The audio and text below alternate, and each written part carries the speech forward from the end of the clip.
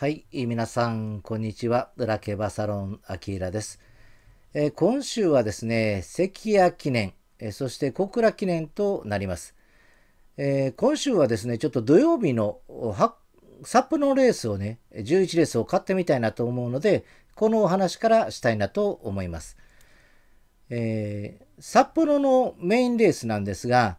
えー騎手のサインがちょっと面白くて、浜中騎手中心に、えーサインがされているんじゃないのかなと思っています。えー先週のエルムステークスの結果を見ていただきたいんですが、浜中騎手の隣のフルデプスリーダー、そして土曜日も浜中騎手の隣のハーツイーストワールが連帯をしています。その前の日曜日のレースも浜中騎手の隣が連帯をしています。この浜中騎手のサインなんですが、ただ隣を教えているだけではなくて、もう一人、えー、菱田騎手との関係があったんではないかと思います。菱田騎手と浜中騎手は土日で同じ間隔に入っていました。それはどういうことかというと、えー土曜日でに3番、9番という並びになったんですね。そして日曜日も2番、8番とこの2人は同じ間隔に入っています。答えは浜中騎手から2怒鳴りと菱田騎手から8怒鳴りが同じだったということです。この2人から合わせたところでフルデプスリーダーが1着となったということですね。えーそして今週の土曜日を見てみますと、えー今度は浜中騎手と松田大作騎手が同じ間隔になって入りました。ということは、またこの浜中騎手を使うならば、同じことをするのではないかと思っているということですね。エルムステークスでは浜中騎手の隣、アベックホルスになるんですが、フルデプスリーダーの位置がアベックホルスになるのであれば、えー松田大作騎手から4つ目にあたるこのアベックホルムのホルスの方になるということですね。オレンジペコにはならずにアベックホルスの方が解体ということです。それは松田騎手から4つと、えー浜中騎手から2隣が重なるからです。そして今度はウェルドーンの位置浜中騎手から3つ隣になる丹内騎手のマイネルクロンヌが連帯する場合は松田騎手から7つ隣になるということです。松田騎手の7つ隣にもウェルドーンがいて、浜中騎手から3つ隣もウェルドーンになるということですね。このウェルドーンの位置がマイネルクロンヌになるんではないかと思って、この7番、10番を買いたいなと思いました。えーそして、えー浜中騎手の隣を使わない場合は、えー武豊騎手と池添騎手が同じ並びになっているのがわかります。えーそしてまた池添騎手の隣の武豊騎手が連帯するならば2番。えーそして武豊騎手から4つ目、えー池添騎手から3つ目になるならば、モズピンポンになるんではないか。ということですね。えーこの4点、2番、5番、7番、10番、10番だけが人気をしていて、2番、5番、7番は人気薄です。もしも荒れるならば、こういう馬を使ってくるんではないかと思っているわけですね。えーまあ、マイネルクロヌであれば仕方がないということなんですが、えーそして、馬名のサインがちょっと面白くて、えー先週のエルムステークスの結果を見ていると、ウェルドーンが2着をしたわけなんですが、このルドという文字は、えー土曜日に行われたメインレース、ゴールドギアのルドじゃないのか。その隣に、ハーツイストワールのストという文字がヒストリーメーカーが持っていた。この2頭の名前のところの武豊騎でした。ということで、今回同じように馬名のサインを見てみると、北の竜王がいいんじゃないか。えーオメガレインボーの王という文字ですね。頭尻文字。北の竜王が王という文字を持っています。横に北光雷電が入って、アイオライトのライを持っています。同じことをするならば、この北の竜王、人気薄でも走ってもいいのかなと思っているということです。えこの2つがあって、この北の竜王の人気薄から2番、5番、7番、10番につけてみようかなと明日思っているわけです。札幌の、ね、重賞でもないレースなんですが、ちょっと手を出してみたいなと思っています。この機種の考え方がね、このサインがあるんですが、これが関谷記念の過去にあります。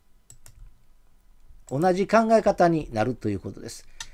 昨年、関谷記念では、デムーロ騎手の隣の馬番、そして津村騎手から3つ目の馬番になる、えー、空手が2着となっていますが、その前の年の2020年を見てみると、えー、デムーロ騎手から隣が里の朝、えー、津村騎手から3つ目が、えー、里の朝であり、この里の朝の位置は空手の位置になるんではないかという考え方です。えー、その前の19年では津村騎手から3つ目があります。津村騎手から3つ目、津村騎手から3つ隣、そしてデムーロ騎手が昨年とその前で、えー、2人で教えているということですね。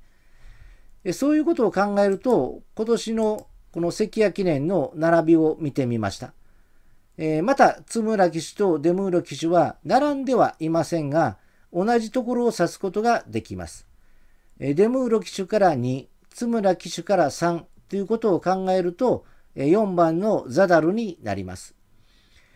もしもまた違う考え方が合うならば、デムーロ騎手と秋山騎手の並びが面白いんではないかということです。デムーロ騎手から9隣になるのがディビーナになります。昨年のロータスランドの位置になります。そして秋山騎手から三つ隣がロータスランドであったので、今年も秋山騎手から三つ隣がディビーナになるということですね。この秋山騎手とデムーロ騎手を使って11番を指すのか、えー、デムーロ騎手から2、津村騎手から3を使ってザダルを教えてくれるのか、このどちらかではないのかなと今、関屋記念は思っています。騎手のサインっていうことですね。えー、馬名のサインは、えー、同じ馬名を持ってくるのか、隣を持ってくるのかということで、あの、ウィン・カーネリアンのインと、ピース・ワン・パラディのラテという文字が、昨年のソング・ラインとインと、カラテのラテが入っているのがわかります。ここが面白いんではないのかなと。ここを直接使うのか、隣の馬を使うのかというところが、このザダルとディビーナの相手になるんではないのかなと思っています。関谷記念なんですが、えー、新潟ですよね。福島から新潟のメインレースが移り変わってきました。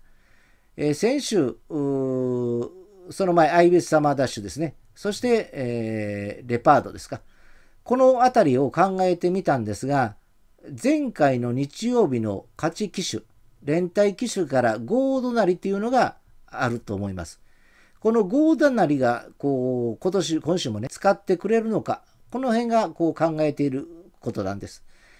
えー、福島テレビオープンの1、3着機種の田辺機種と、えー、江田騎手がいたんですが、ジュライステークスで5つ隣を指しました。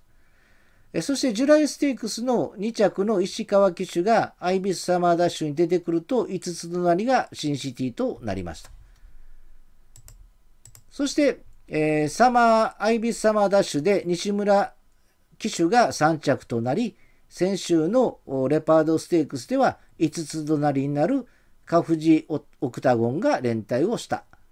と思うと、今週もこの川田騎手、藤岡騎手、法騎手、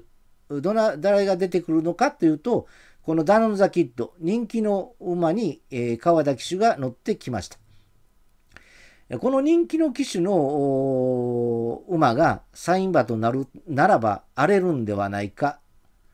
ダノンザキッドから5つ隣、川田騎手から5つ隣のがこのザダルになります。穴を開けるならこの馬かなと思っています。そして反対側、川田騎手の反対側5つ隣はウィン・カーネリアンになります。この辺りが、えー、面白いのかなと思っていますているということですね。えー、サイン的には短かったんですが、明日の土曜日ね、えー、メインレースを少し楽しんでみて、えー、日曜日のメインレースをもう一度考え直してみたいなと思っています。えー、ということで、えー、今回、えー、第1回目のですね、えー、ごめんなさい。これの抽選をしてみたいなと思います。えー、書き込みをしていただいた方、えー、7名おられました。えー、参加ということで、この7名の中から、この今週ですね、グレーのマスク、これをですね、え、抽選で差し上げたいなと思います。えー、どういうふうに抽選しようかなと思っていたんですが、えー、数が少ないのでね、えー、ハートの1番から7番まで、えー、バラバラに、えー、持ってきました。はい。これでね、1番から7番までの数字で、どなたかに差し上げようと思います。いかがですか？ドキドキしてきました。どなたかに当たります。7分の1ですからね。7分の1の確率で当たります。えー、まだ、まだ私のね、あの、ページは、あの YouTube のね、ところは、え書き込みが少ないのでね、当たる確率はすごくあります。はい。えー、これで、えー、まあ、あの、10、10回ぐらい、まだ10何枚はありますので、毎週、え抽選しますのでね、えー、いつか当ててくださいね。書き込み毎週していただいて、え、いつか、あの、手に入れてください。ということで、今週第1回目の抽選を行いたいと思います。もうよろしいかこの、もうこれぐらいで切るのは。一番上、一番上に来たやつ。これにしますね。はい。えー、さあ、ドキドキの一番初めの抽選の方はどなたなんでしょうかということで、えー、一番上をめくりたいと思います。ダダダダダダダダダ、もういいですか？ドンということで、えー、7番ですね。はい。7番のフィーリングエモさん、あたりです。えー、あの、マスク、あの、欲し、欲しいというか、欲しければ、あの、メールをください。えー、書き込みの下に、えー、私のメールを書き込んでおきますので、え、そこに、えお名前、住所、書いてください。えお送りしますので。はい。あの、もういらないよっていう方はそのままにしといてください。どうなんでしょうね。欲しいですか？まあ、あの、欲しければ、あの、送ってくださいね。あの、メール送っていただければ、では送りますので。えということで、今週、フィーリング山さんが当たりということです。えー、他の方もね、欲しいという方がおられますのでね、えー、毎週書き込みをしていただければ、えー、どなたかに、えー、プレゼントしますのでね、皆さんからいただいた、こう、支援していただいたものを、こう、お返しできる、楽しいでしょ？えこういうのをね、また進めていきたいなと思っています。えー、T シャツもね、あのー、やっと送り終えまして、えー、届いたよというメールをいただいてます。ありがとうございました。えこれで一つね、あの今年2020年、えー、一つの目標っていうんですかね、えー、T シャツ作って、えー、まあユニフォームですよね。私の場合はユニフォームなんですが、あ皆さんと一緒にね、来て、あの、土日楽しめたらいいなと思っています。まだ、あの、北海道の親父さんのところにはちょっと届いてないのかな？ちょっと遠いのもと、それから交通網がちょっと気象の関係でね、遅れているようです。えー、無事届くことを祈っています。もうそろそろ届いてもいいかなと思ってるんですけど、ちょっと分かりません。はい。えー、他の方はもう皆さん届いて喜んでいただけてるということです。えー、今週一緒にね、土日来てですね、え、競馬しましょう。えー、これで、ね、あの、気持ちだけね、